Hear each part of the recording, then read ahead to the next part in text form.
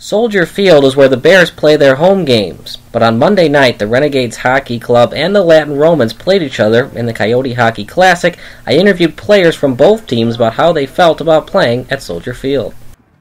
All right, I'm Kyle Smith for Villa Park Television and for a special broadcast, Chicago Access Network Television, as the Renegades Hockey Club will take on the Latin Romans, not Latin School Chicago. What's so cool about this hockey team, the Latin Romans, is eight combined high schools that are all affiliated with the program, and I have three very nice guys to interview today. First of all, leading scorer Charlton McCardle. First of all, Charlton, what is it like to play at Soldier Field? I think it's incredible. We just went out there just to check it out, and it's just, I just looked up in the stands, and it's amazing. I can't believe it.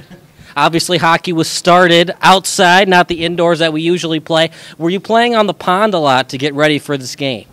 Um, not really. Well, we went out a couple times, but it was really just we kind of stayed outside a little bit to try to get used to the cold um, and to see how it's going to affect us and just an incredible year for you. And you're only a sophomore. What do you attribute to your success this season? Uh, I think it's just my teammates. You know, I try my best as a player, but they're the ones that are there to support me and assist me and do everything they can. So.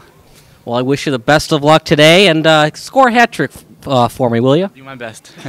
I'm also here with Tom Hennelly, number 91. Great number, I should add. What made you pick number 91? I've been 91 forever, so that was my first number for on my first team, so I just stuck with it. Random or just uh, a, a, player that you like? What made you choose number 91? It was random. It really was, but uh, I always liked it. It always stuck with me. It always had a meaning to me. So yeah. Um, you guys played the Renegades actually in a tournament. Um, were you there for the tournament? If so, uh, what was that like playing them in the tournament? And how is that going to uh, translate to today's game? Uh, it was a pretty rough game actually. It started out pretty nasty, but uh, that energy should carry over in this game a little bit. It was a tight game last time. Hopefully, it'll be another tight game. Playoffs are coming soon. Obviously, this is a tune-up for the playoffs.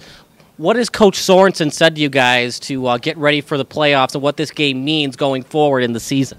It, it's all momentum, and you you got to get on a win streak and go into the playoffs hot, or else it's really going to slow you down, and you're not going to get as far as you'd want to get far.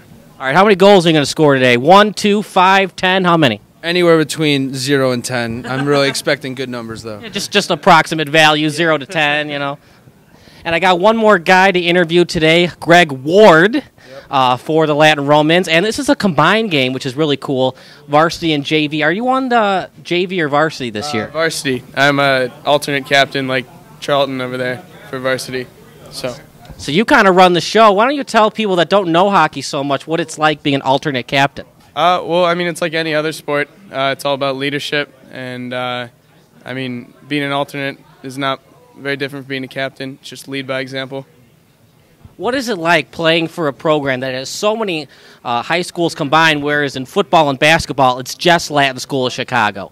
Um, well, it, it does get kind of hard as far as like uh, being closer as a team, just because uh, you don't see the guys at school.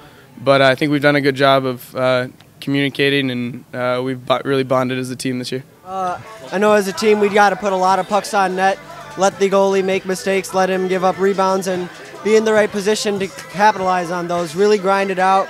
That's how we play. That's how we win games. All right, Corey. I, what I understand outside of hockey, you play you play some you play some different sports. Can you let can you let me in on how this prepares you for those sports? Uh, it just shows me leadership. Uh, how to work with your team and just how to get ready for the next se- uh, season to start. All right, you've clinched third place. You're about to clinch the play. You're you're going to go into the playoffs. How is this gonna, game going to prepare you? Since it's a different like different environment, you're actually playing in the elements instead of a rink controlled, a temperature controlled arena.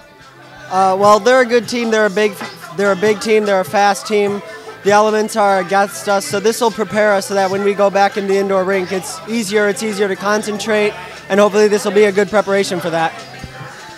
All right, Corey.